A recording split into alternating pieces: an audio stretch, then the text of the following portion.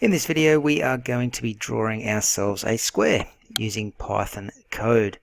Now we're not just going to draw one square, we're actually going to draw four squares. We're going to do each one a different way. There's multiple ways you can draw in Python, so we're going to have a look at a few of those now. Okay, we are going to be using the turtle library as well to draw these up. So to get started, open up Python and I need you to make yourself a new file and get a blank screen like so. Now before we get started on anything, the first thing we need to do, since we want to draw in Python, we need to import the turtle library. So that's a library of code written by somebody else, and it'll save us writing all that extra code.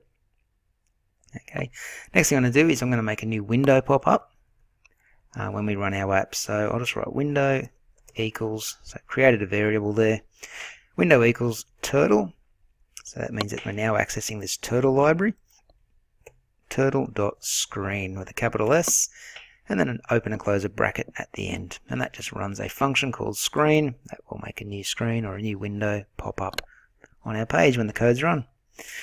Um, after that, to use something new here, turtle.speed. This is how quickly the turtle is going to draw the shapes on the screen. Zero is the quickest. Okay, it almost happens instantaneously. And then we go basically a number between 1 and 10 I think it is. So I'm going to go about halfway through and I'll go speed 5 the higher the number the quicker it will go. The lower the number the slower it will go unless you've got 0 because that is the quickest number just to confuse you a little bit there.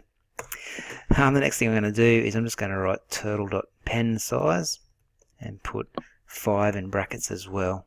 Okay and that's just going to be the stroke or the border of the squares that we draw. It's going to be set to I think it's 5 pixels we're measuring in there Alrighty, so that's got the um, basics set up. The first thing I'm going to do now is draw the outline of a square. So I'm just going to write draw the outline of a square as a comment, just so people know what we're doing for the first square. Uh, we're going to write in turtle.pen up. Okay, when we first run the code, the turtle pen is down, so it's going to be drawing wherever the turtle moves. But I don't want the turtle to draw straight away, because we're actually going to move the turtle to another position on the screen, and I don't want the line to follow him to that position.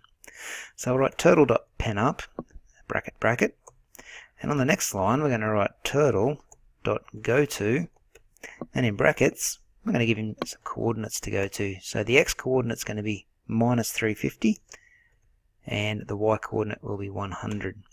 Just so you're aware how coordinates work in Python, just imagine a normal x and y axis, so a big cross on the screen. The center point of your screen is 0, 0. So 0 on the x-axis, 0 on the y. So by changing my x value to minus 350, I'm moving over to the left of the x-axis.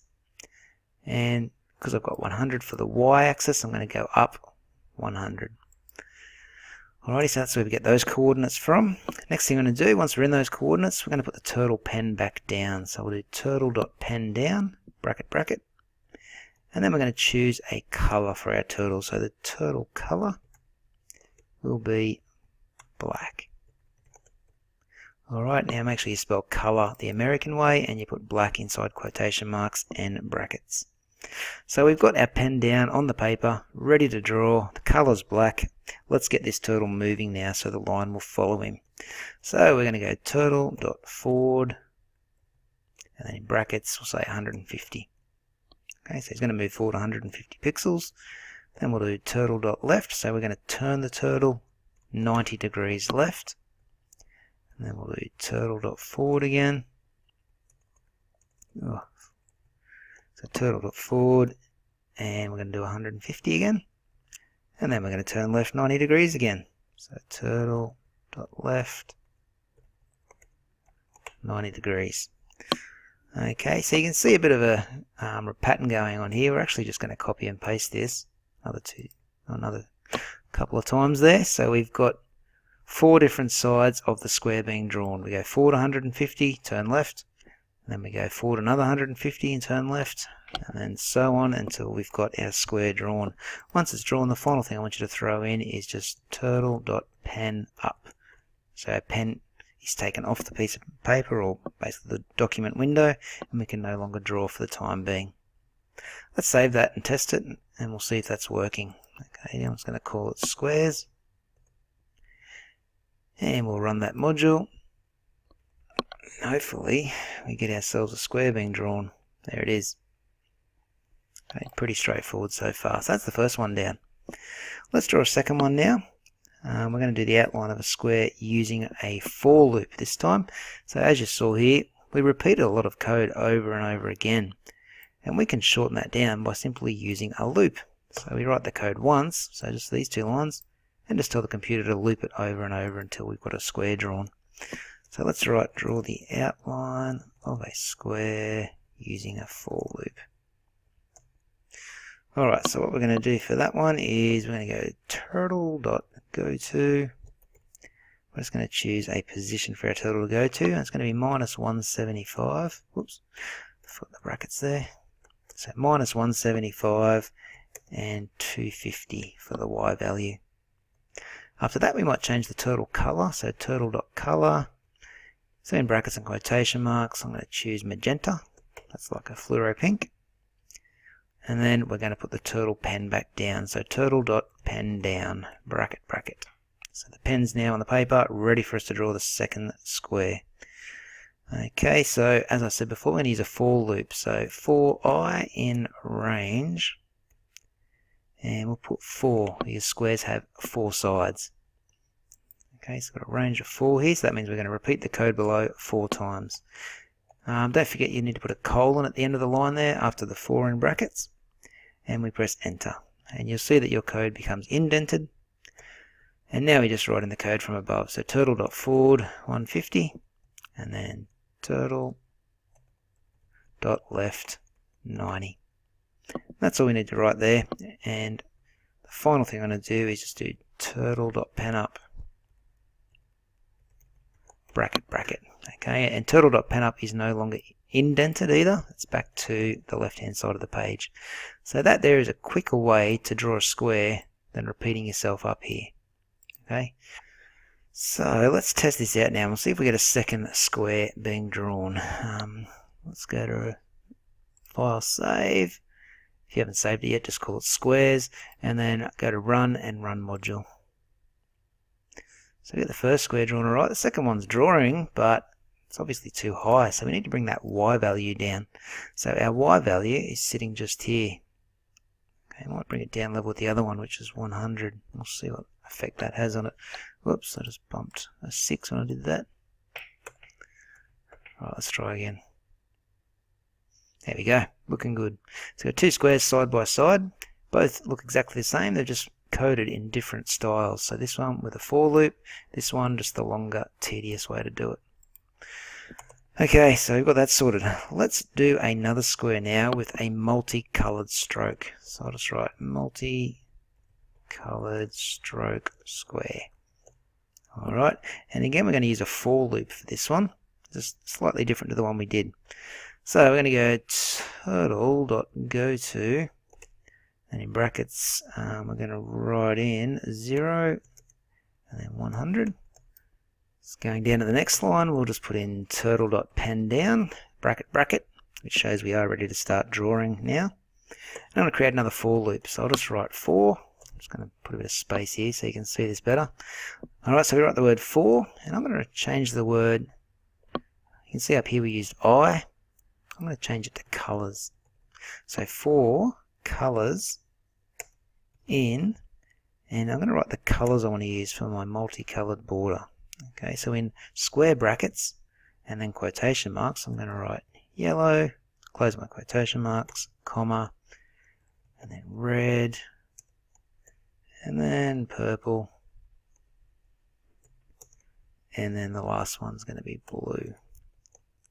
Close the quotation marks, close the square brackets, and then do a colon at the end, which shows the code we are going to loop over and over a few times here. Okay, so obviously it's a square, and the first line is going to be yellow, second line red, third line purple, fourth line blue. Okay, so we're going to write in turtle dot color, spelt the American way, and then in brackets we write colors, the Australian way. Okay, so the color of the turtle is going to be found in this little function up here, or this for loop called colors. Um, after that, we tell the turtle to move, so turtle.forward, and we're going to do the same as before, so he'll be going forward 150. And then turtle.left will be 90 degrees. And then outside of that loop now, so we're going to go to the next line and just push our cursor back to the left of the page, right, pen up, bracket, bracket. Okay, a little bit confusing, but basically this loop has got four parts to it. So the first time the loop goes around, we have yellow as our color. We move forward 150, turn left 90 degrees, come back around into this colors part here, and we take red for our next color. Okay, red, we go forward 150, turn left 90 degrees, and go purple, and then blue. So I'll save that by pressing Control S and then F5 to run. There's how our squares are looking. So far so good. We've just got one to go now. Alright, so let's go down, put in a hashtag, and what are we doing here? We're going to draw a square and fill it in with a colour. So we'll just write filled square with stroke. So we're going to put a border on it too. Um, that's looking good, so let's start coding that section. So we're going to go turtle dot go to and in brackets 175 100 so they're the x and y coordinates. After that we just press enter and we change the color. So turtle dot color spelled the American way and in brackets we start with the stroke color. So we go orange then put a comma and then choose a fill color so my fill color is going to be yellow. On the next line we'll just put the turtle pen down so it's now ready to draw. So bracket bracket at the end of that. And then we do turtle dot begin underscore fill which is saying the shape we code in next will need to be filled this color. Okay all the colors above. Um, so now we can do the loop. So another for loop. So for i in range 4 so we've got four sides to our square and the code we want to repeat oops I forgot to put a colon after that four. the code we want to repeat is turtle.forward and then 150 in brackets and then we turn ourselves turtle.left 90 degrees. Okay, outside of that you can come down now and we just end the fill off, so turtle.end underscore fill, bracket bracket, and we'll put in the usual line window, I think it was window, yep, window dot exit on click bracket bracket. And that will close our program once we've clicked on it anywhere on the screen. So let's save this by pressing Control S and see if we get four rectangles or squares. Beautiful. So they each serve a different purpose. Okay, so if you ever need to draw some shapes, just refer back to this video, I reckon. We've got the filled square with stroke, we've got multicolored strokes, we've got the outline of a square. What was the other one we had to do? Um, oh yeah, just draw a normal square up here. Too easy. Okay, so that will probably do us for this video. I'll get you to save that up and I'll catch you in the next one.